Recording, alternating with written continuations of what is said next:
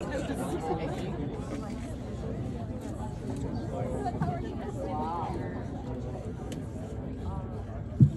right. Good morning, everybody.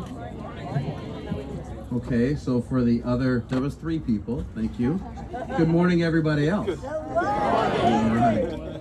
Yeah, welcome. Hi, my name is Bill Brewer. I'm a resident here in Washington County, and actually, I just thought about this the other day. This was my 20th year in Washington County. I grew up in Milwaukee and Menomonee Falls, and went and served our country in the Air Force. Was a pilot. Came back to Southeast Wisconsin in the late 90s and moved out here in the early 2000s. So, just glad to be a part of this community. I just want to welcome all of our guests and specifically thank uh, our county executive Josh Schoemann, who you'll hear from later, and our planning committee for this wonderful event, this fourth annual Washington County Juneteenth celebration. I just want to give those folks a hand right now, if you don't mind.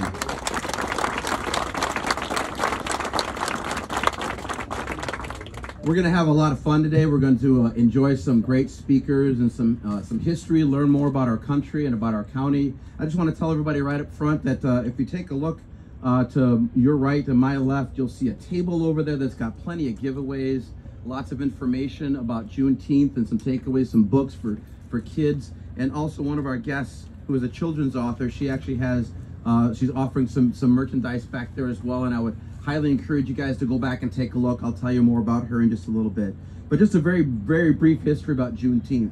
So June 19th, 1865, Major General Gordon Granger from the Union Army had his troops enter into Galveston, Texas. Now, this is a full two and a half years after the Emancipation Proclamation took place and came into effect in January of 1863. But finally, this was the last state in the in the nation that actually got the word and we could enforce the end of slavery. So slavery was abolished legally two and a half years earlier, but in real terms, this is the day that commemorates the actual abolition of slavery uh, in Texas. And that's why it's such a momentous occasion. Uh, it became a federal holiday, as many of you know, just a couple of years ago in 2021. And it's, it's a very symbolic of the progress that our nation has made, right? When it comes to how we treat our citizens and how we recognize all of the people that live here legally as citizens of this great nation. And I just kind of want to point you to this flag. You know, this is the Juneteenth flag, official Juneteenth flag. It's actually flying in 10 different locations around the county, which I think is amazing. It's a great way to get the word out. But even looking at the flag, you might not understand fully what it represents. And I just want to briefly explain that to you before we have our, our invocation. When you take a look at the flag, first notice the first thing jumps out at me is red, white, and blue. Because we live in the greatest nation on earth, and these colors are consistent with that. In the very middle is a star. Now, for those who may not know, Texas as a state is called the Lone Star State, so a single star. But obviously, it also represents all 50 of our states, right? It's symbolized on our nation's flag. Then the outline of the star around it is a nova, a new star, promising a new beginning. And when you take a look at the fields of blue and red, you'll notice there's not a straight line between them. It's actually an arc. It's curved, like the horizon, because this also represented a new beginning for newly, truly, if you will, practically minted citizens in our nation. It's a new beginning, new opportunities for a group of people that have been held down for hundreds of years. But thankfully, we don't live in that country anymore, and we're here to celebrate that fact today. So we want to begin our program formally by welcoming Pastor Clark Schultz for the invocation. He is the, the pastor of Shepherd of the Hills Lutheran Church. Pastor Clark, would you please come up?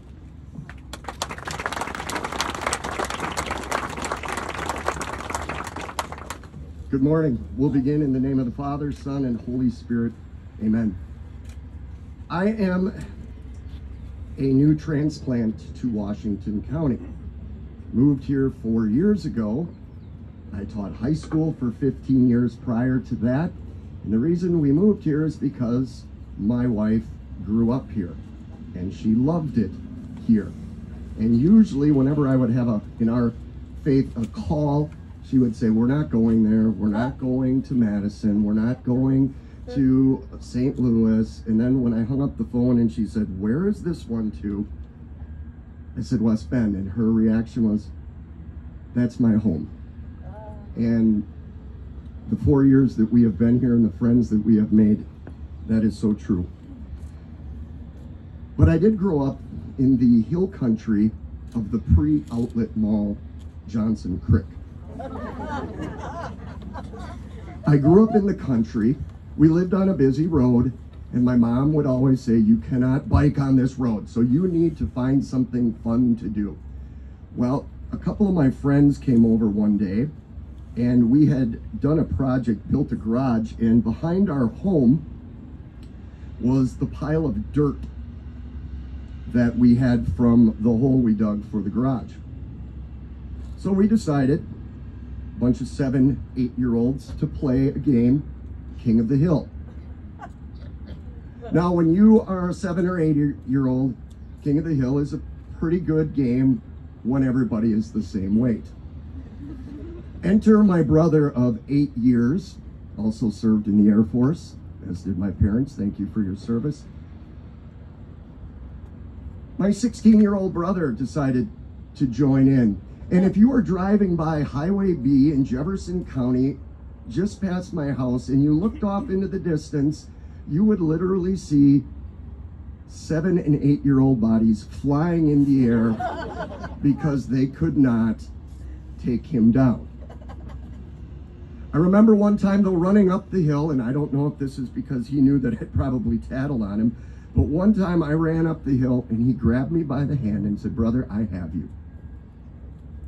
And put me behind him. And it was fun to watch.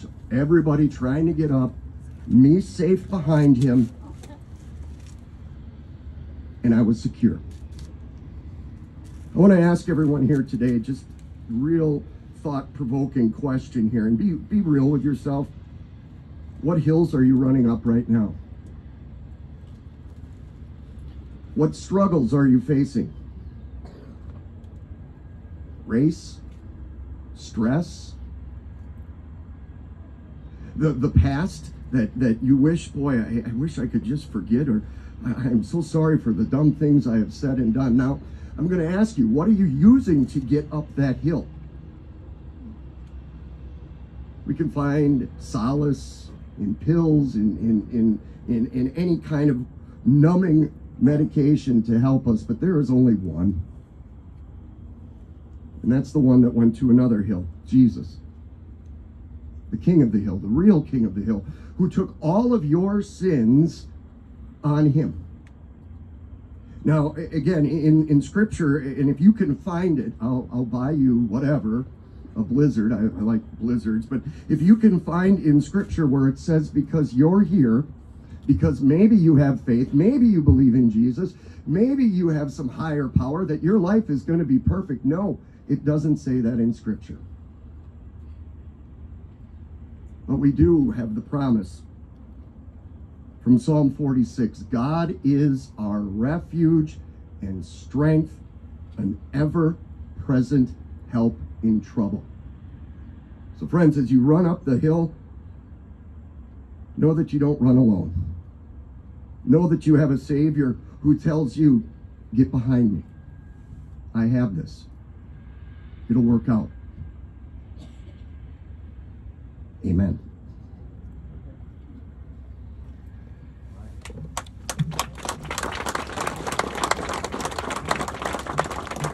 Thank you, Pastor. Amen. Great words. Appreciate it. And I would like to invite up our Washington County Executive, Josh Schoemann. Uh, he's not only a county executive, he is my friend, and he's going to uh, give us the proclamation of this holiday. Welcome,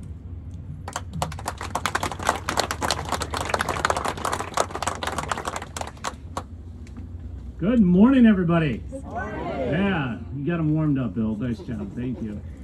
I am so excited to be here today. Uh, I was just talking to my friend Will Martin, who's going to follow me up here in a moment. Uh, Believe it or not, this is our fourth annual Juneteenth Day in Washington County. Count them four. Uh, that is one more than the number of years that Juneteenth has been a federal holiday in the United States of America. Right. Yeah, that's worth clapping for. And it's worth clapping for because here in Washington County, we have been called the freest county in America. Uh, and that, that happened actually at a place, no, it was this place. Uh, this place uh, when we opened our doors and opened up this golf course weeks before everybody else, while everything else in, in the state of Wisconsin was locked down. But it's really more than that. You see, Juneteenth Day is also called Freedom Day. But if you think about what we just celebrated mm, two or three weeks ago with Memorial Day, it's the unofficial kickoff to summer. And in a couple of weeks, we're going to celebrate the 4th of July, Independence Day. What we really have here is a, is a national holiday in the midst of Freedom Month. In the freest county in America, in the freest nation in the world. So let's celebrate that. Juneteenth, June 19th, 2023. Whereas during the early founding of our country, slavery was a polarizing issue passed from one generation to the next. And whereas by the time Wisconsin became a state in May of 1848, to keep a truce on the issue of slavery and balance in the United States Senate, paired states entering the Union as a free state or a slavery state, and Wisconsin a free state, paired with Texas, which joined the Union in 1846. And whereas the political tension on slavery boiled over in 1861, as many slave states left the Union to create the Confederate States of America as an effort to preserve the inhumane practice and began the fourth year long four, four year long civil war which saw thousands of washington county men join over 90000 other wisconsinites to play a key role in winning the civil war and whereas in 1862 president abraham lincoln issued the emancipation proclamation which went into effect january of 1863 and freed slaves in southern states and whereas in february of 1865 Wisconsin became the 18th state to ratify the 13th Amendment to end slavery. And whereas in April of 1865, two years after the Emancipation Proclamation, Confederate General Robert E. Lee surrendered to General Ulysses S. Grant at Appomattox Courthouse, ending the Civil War. And by June of 1865, two months after the war and two and a half years after the Emancipation Proclamation, Texas remained a slave state until Union Army General Gordon Granger arrived in Galveston, Texas to issue General Order Number 3, freeing Texas slaves. And whereas in December of 1865, the 13th Amendment to the United States Constitution was proclaimed, adopted by Secretary of State William H. Seward, finally ending the long slavery political debate in the United States. And whereas in generations that have followed, race relations remain an issue in our country, our state, and our county. And in June 2020, Washington County hosted our first Juneteenth celebration. And in June 2021, Congress passed a resolution finally catching up with Washington County. Oh, sorry, uh, that's not in. Uh, passed a resolution establishing Juneteenth as a federal holiday that was signed into law, Juneteenth National Independence Day Act, on June 17, 2021. Now therefore I, Josh Schoemann, Washington County Executive, do hereby proclaim June 19th, 2023 as Juneteenth Day across Washington County and ask all citizens to love your neighbor by coming together this Juneteenth to pause in remembrance of the nearly 100-year battle to end slavery and to pray for our communities as we continue to mend race relations. Thank you.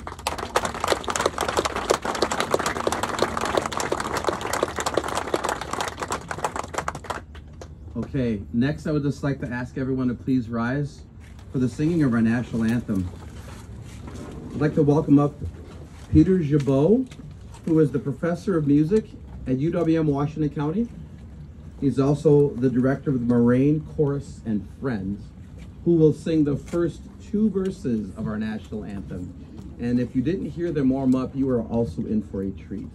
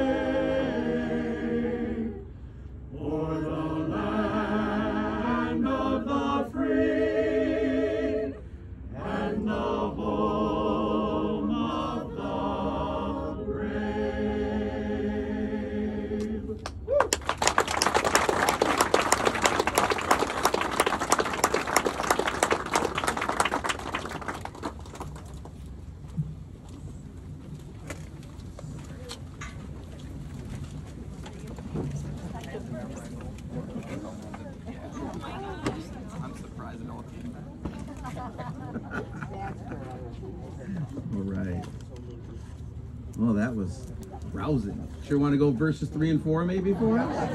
Maybe it was a little cooler we could do that, right? So I'd like to welcome up our first uh, speaker. Uh, his name is Will Martin. Will Martin, if you don't know him, he's a small business owner and has been for over 20 years. Currently the CEO of Wisconsin Diversified Investments. He actually served in two governor's administrations, both Governor Tommy Thompson and Governor Scott Walker. And you may recognize his name. He was on the ballot most recently to run for lieutenant governor. One of my newest friends and someone I respect highly, Will Martin. Welcome him up.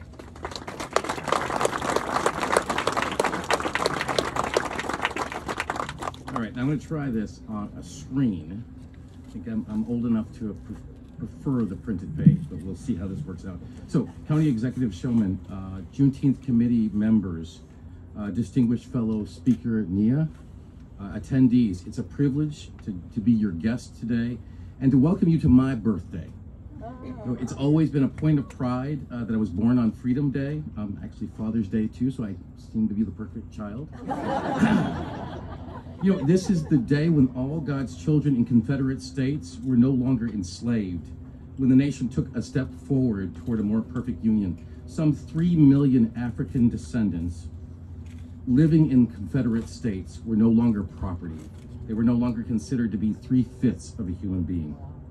By the way, we usually don't talk about it, but slavery still existed in places like Kentucky and, and in uh, Delaware, even after Juneteenth, uh, because those states were not in rebellion against the Union and therefore were not affected by President Lincoln's Emancipation Proclamation. So to, to actually rid uh, this nation forevermore from every corner of slavery, it required ratifying the 13th Amendment of the Constitution, which became effective just months after President Lincoln's death in 1865. With that ratification, our post Civil War nation took another giant step toward perfecting its union. Of course, you and I know that decreeing that all men and women are free and equal doesn't just make it so. Juneteenth marks the culmination of the sacrifices that so many made to try to right the wrongs of slavery, which have been codified in our Constitution from the very founding of our United States. It's a story about sin and redemption. You know, sometimes we can get lost in the nationwide numbers and history. We can sometimes get lost in the belief that the work of expanding freedom and equality was the work of that first Juneteenth generation. My friends, you and I know advancing freedom and equality and perfecting our union is not the work of a single generation. It's the work of every generation. I want to talk a bit today about our journey as a state and region in the wake of Juneteenth. As African Americans began the Great Migration to the North in the early 1900s, sundown towns, or as I call them, dusk communities, began to be declared. So what is a, a sundown town or a dusk community? It's a community in which African Americans and other people of color were prohibited from living. These communities were referred to as such because African Americans and others had to be out of those communities by sundown. My friends, many of those sundown towns or dusk communities were declared in the Midwest. As post-slavery generations of African Americans came north seeking new opportunity beyond the South's Jim Crow practices and laws. Having been raised in the South uh, during much of my childhood, I'm very familiar with segregation as an example, my hometown in Tennessee operated two separate swimming pools for most of my adult life uh, because of that separation, that segregation.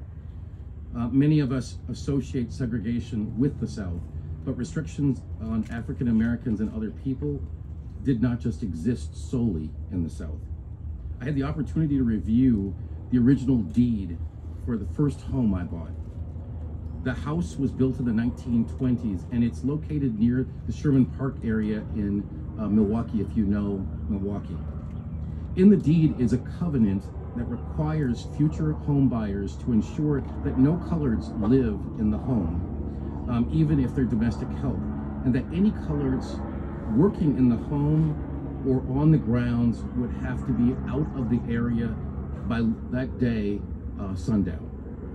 On September 16, 1924, the Milwaukee Journal reported about a proposed Negro district and plans to restrict blacks. The article went on to state that the Negro population of the city is growing so rapidly that something will need to be done. That something was to require black residents to live between 3rd and 9th Streets from State to Walnut, less than 40 uh, blocks of the city. As a result of the segregation, three and four black families often lived in a dilapidated, rented, uh, single family home. At the same time, community leaders were trying to raise capital for a black bank. They tried several times to obtain a bank charter from the state of Wisconsin, something that had never been done before in the history of this state. Their request went unanswered and rejected. With nowhere else to go, those community leaders reached out to someone who worked in the governor's residence. There was a position for a black man there. That man found an opportunity to tell the governor about the deplorable living conditions uh, for black Wisconsinites in Milwaukee. The governor, upon hearing this, immediately ordered the state of Wisconsin to issue a bank charter. It was just 10 days after that Negro District article I mentioned had been published. Columbia Savings and Loan Association received its charter. While segregation persisted and those families still had to live in the Negro district, they could now begin to buy a home. Another major milestone toward expanding freedom and equality and perfecting our union. Today, as I serve as the Vice President of Columbia Savings and Loan Association, among owning my business, when other banks would not lend to the black community in order to buy a home or finance houses of worship, the black community banded together, worked tirelessly until it was able to establish what is now Wisconsin's oldest black-owned business. It's Wisconsin's only black-owned bank, and it is the sixth oldest black-owned bank in the United States. It's another step toward expanding freedom and equality and perfecting our union. The Negro District continued from those early days of the last century until the Civil Rights era. In fact, Wisconsin was part of the impetus to pass federal legislation prohibiting racial discrimination in housing. Vel Phillips, who would become the first person of color ever to serve in a statewide constitutional office in the state of Wisconsin, and Father James Groppi, a Catholic priest, they marched from the north side of Milwaukee to the south side only to have rocks, bottles, and epithets hurled at them. Milwaukee was nicknamed the Selma of the North, and it proved to the nation that segregation was not simply a thing of the South. The state's largest city was part of the reason why the Federal Fair Housing Act was enacted in 1968. Because of the Fair Housing Act of 1968 and the fact that it would be applied across the nation, the requirement to live in the Negro District ended at long last. Not only did it end the decades long ghettoization, it rendered sundown towns illegal and race based housing covenants have become null and void. Another major milestone toward expanding freedom and equality and perfecting our unit. I came here as a, a teenager to our state uh, from a poor family from the South, earned a scholarship and graduated from Beloit College. Worked for both governors Tommy Thompson and Scott Walker, opened and operate my own business for 20 years, and last year I got a chance to run for office of lieutenant governor. In my lifetime, we have eliminated legally sanctioned racial discrimination. That's another incredible blow. Move forward toward uh, justice.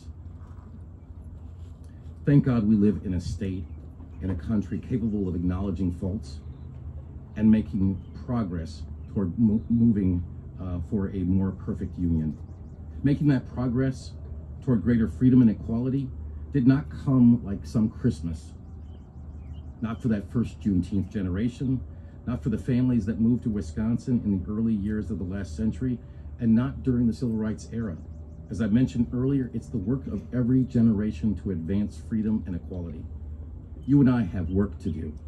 Like generations before us, it's our obligation to move uh, our communities, our state, and our nation forward toward a more perfect union. So how can we do our part? Well, the work ne need not require us to go to war or march in the streets. Our work starts internally, within ourselves.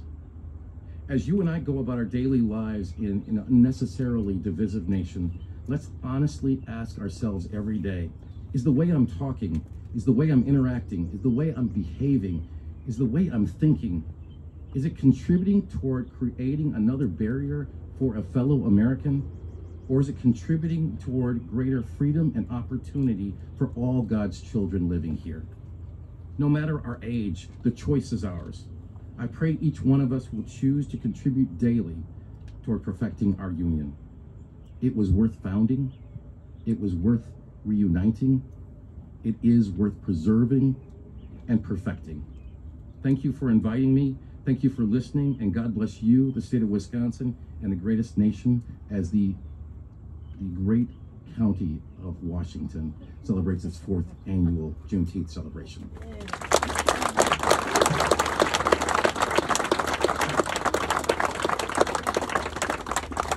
Thank you, Will. Thanks for teaching us some things this morning. I took some notes myself, so appreciate you. All right, I'd like to welcome up Mia and Jaden from the Boys and Girls Club of Washington County. They're here represented with many of their uh, peers, as well as the executive director of Jay, Fisher and his staff. Uh, I don't know if just Mia and Jaden, if you're coming up as well, Mr. Fisher, just Mia and Jaden. Guys, welcome up Mia and Jaden. They're here today to read some quotes from Frederick Douglass. Okay, so for those who don't really know who Frederick Douglass is, Frederick Douglass was a very famous orator around abolition, right? Back in pre-Civil War days and carrying through the Civil War. He actually was a, a close personal friend of President Abraham Lincoln. But before that, he was born a slave. And he escaped and gained his freedom in 1836.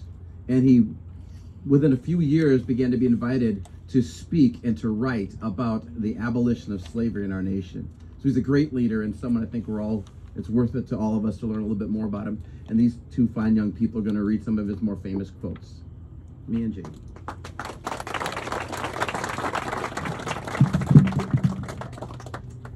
A battle, a battle is, a battle lost or won is easily described, understood, and appreciated.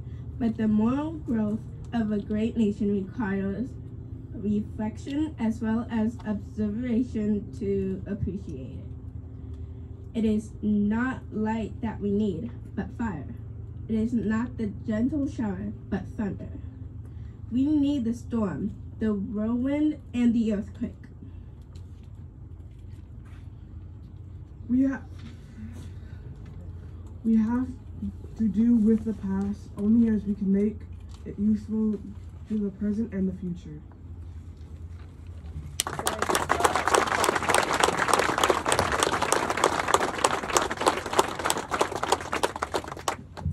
Thank you, Mia Jaden. Appreciate you both for coming up here.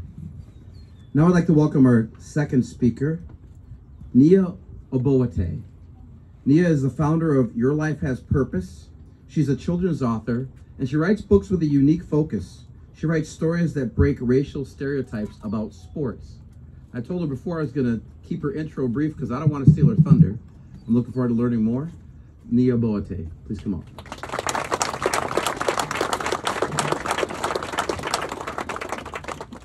Good morning, everyone.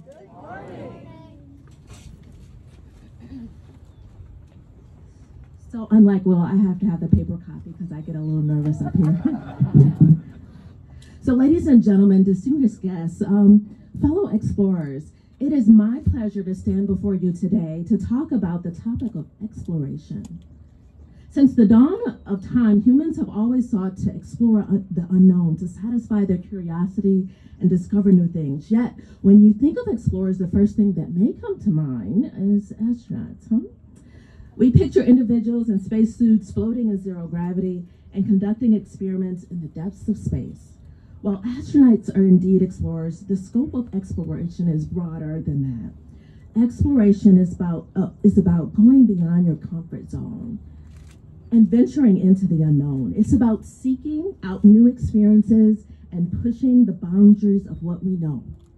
And that doesn't just apply to outer space. Exploration can happen anywhere, at any time, and by anyone. Exploration can happen in your own backyard, in your own city, in your own country. It can happen in the form of a road trip, a hike, or even new foods. It's about breaking out of your routine and trying something new. When I was younger, I lived on a dead end street on the north side of Milwaukee. My parents, my mom and dad, my mom's actually over there, hey mom. they were high school sweethearts, um, college graduates who were the working middle class. Our family consisted of myself, my sister, and my older brother. And my sister would never leave my mother's side, so I would have to hang out with my brother because there weren't many girls in my neighborhood. So I ventured out with my brother and his friends. Now, he and I weren't very close, but he wouldn't leave me behind, and he wouldn't let people give him a hard time about me going with him. But if he climbed a tree, I wanted to climb a tree too, just to let him know that I could. so we spent the better part of our youth outside exploring, particularly a creek that was close to our house. It was called Lincoln Creek, and it was a few blocks from our house.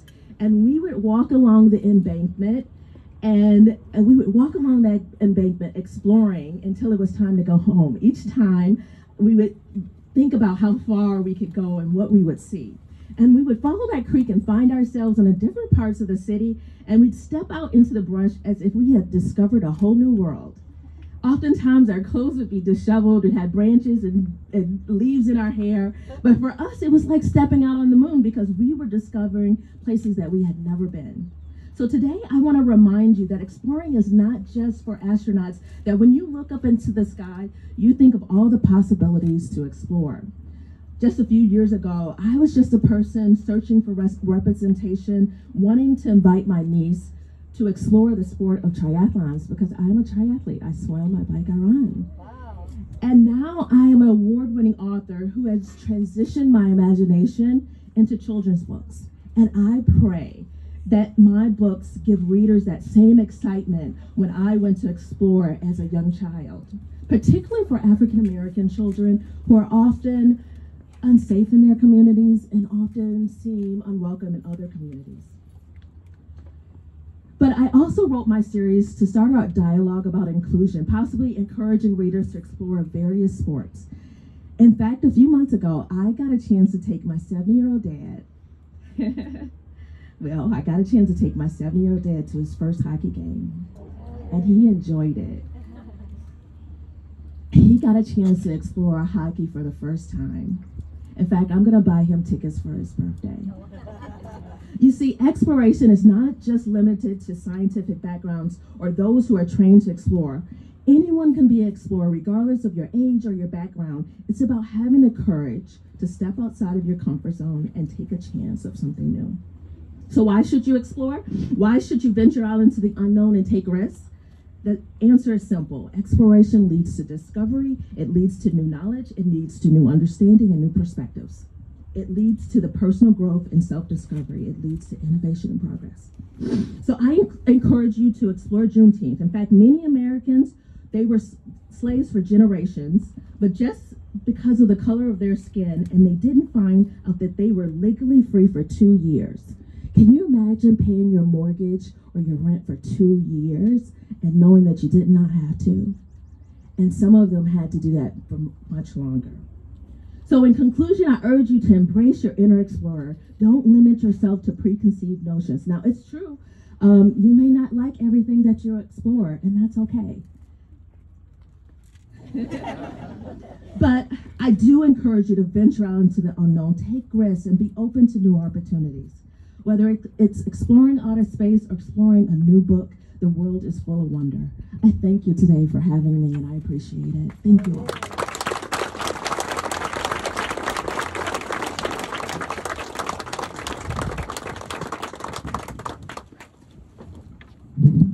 probably we'll come back and help you on adopting a positive attitude about life. Something you should probably work on. I don't, just me, maybe. I don't know. Was great. Thank you so much. You know, we only have um, we really have one national anthem. You heard that earlier today, but there are anthems and themes around major events in our nation and in our society. And one of them you're going to have the joy of actually hearing uh, just now. It's a song called "Lift Every Voice and Sing." it's emblematic about Juneteenth and it's very closely related to it. So I'd like to welcome up Noel Brown. Noel is the executive director of Casa Guadalupe Center. And she will give us a rendition of this song. Oh, one other thing I do want to point out, and that is this. If you have one of these, the lyrics to Lift Every Voice and Sing is in that blue field on the back side of this flyer.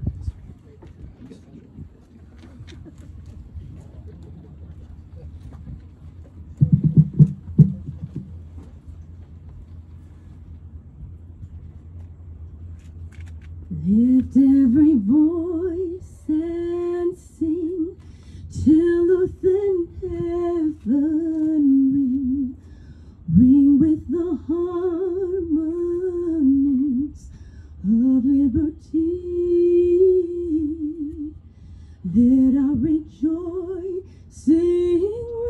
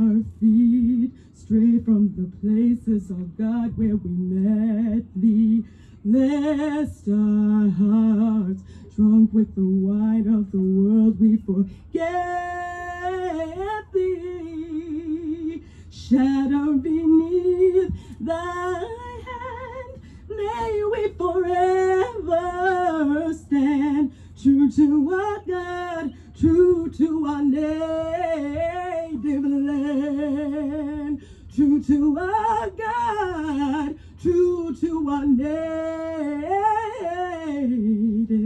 land.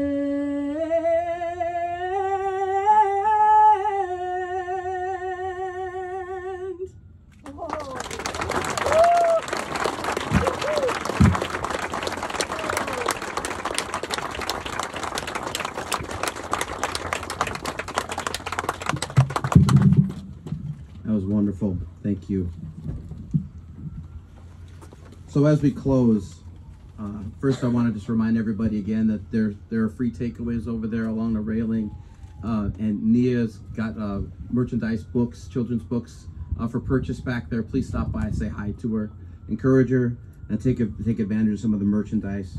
Um, I, I tell you what, as I'm sitting here, I really love the themes that have um, kind of arisen here that we focused on today. Themes of God, redemption, freedom, and growth. So as we step out of our seats here today and close after the after the benediction here in just a couple of moments, we'll be able to take advantage of those things. We'll be able to go ahead and get to some red velvet cupcakes and cookies and some strawberry milk over there. Again, emblematic and traditional treats of the day. But I want to encourage you as you leave today to embrace the progress we've made in our nation rather than simply cling to the despair of the distant past.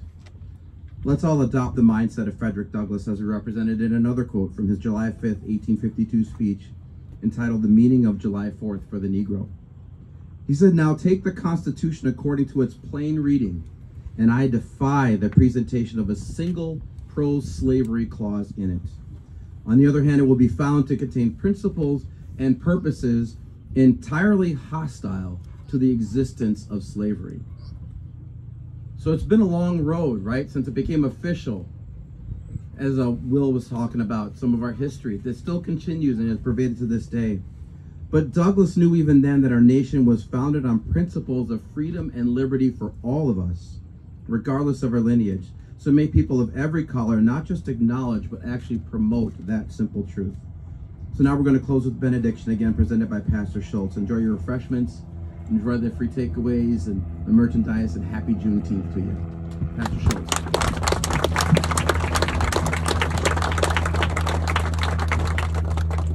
We're three minutes ahead of schedule. I was given permission by uh, county executive that we could uh, do maybe some Gregorian chant or I'm kidding. I'm just going to pray and then we can go.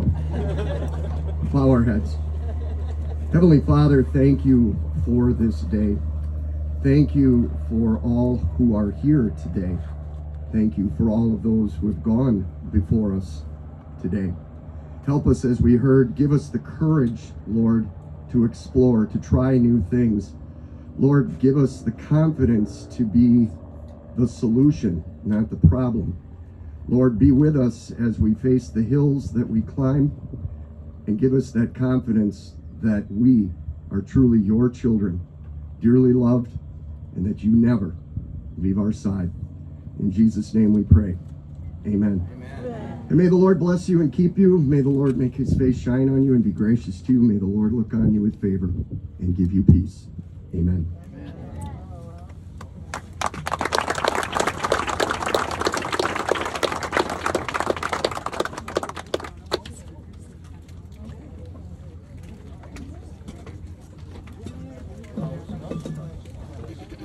What's that?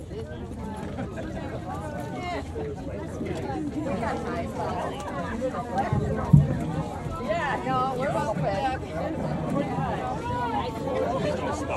I know. It was distressing Ashley. So I, I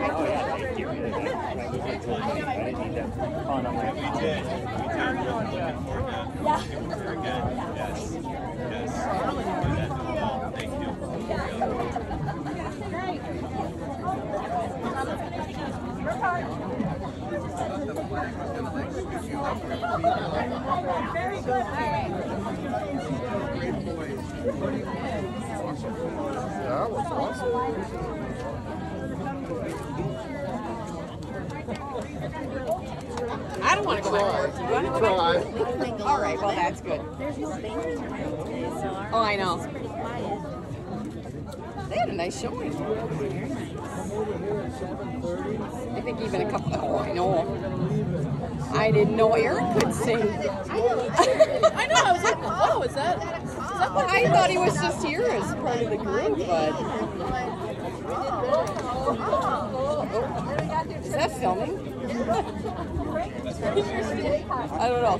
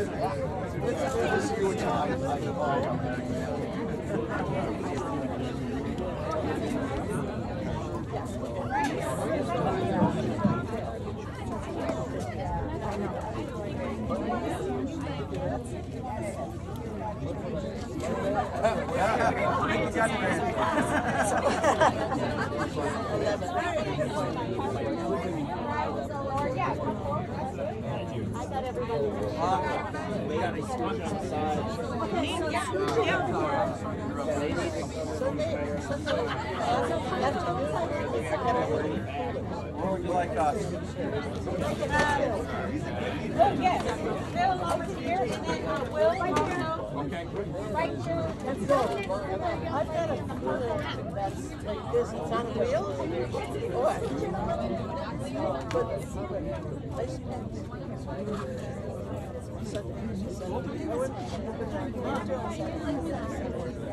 great. And then Jay? Put it there.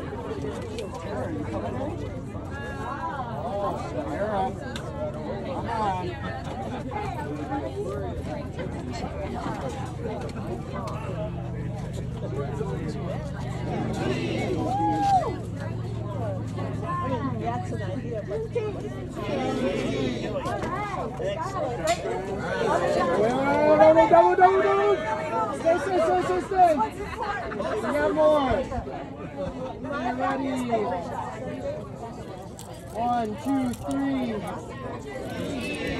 Nicely. I gotta get one more for the pastor.